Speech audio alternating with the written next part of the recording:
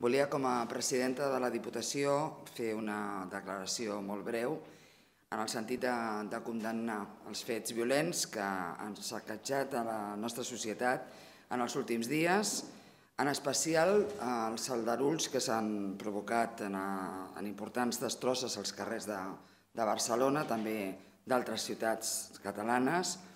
Som conscients de que vivim en una situació política i social molt complicada arran de la sentència que ha tancat el judici dels líders independentistes.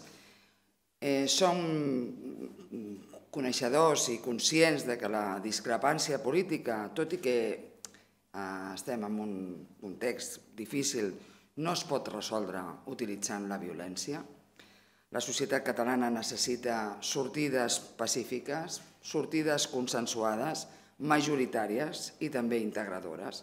Sabem que ara mateix no són fàcils de trobar, però també sabem que la solució a aquesta crisi política no arribarà si entrem en un carreró sense sortida, amb el carreró sense sortida de la violència.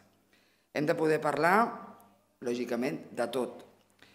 Per més diferències que tinguem, hem de parlar, hem de parlar entre tots i parlar de tot, però no avalarem de cap manera aquesta violència. Una violència que no és una arma vàlida, eh, sinó que senzillament és una arma.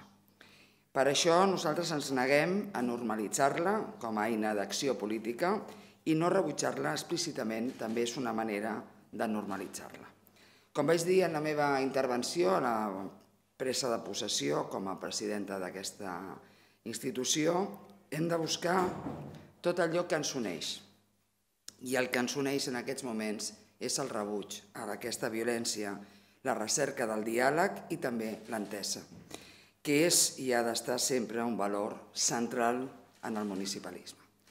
Així que moltes gràcies. Aquestes eren les paraules que, que us volíem traslladar i, en fi, gràcies per la vostra assistència.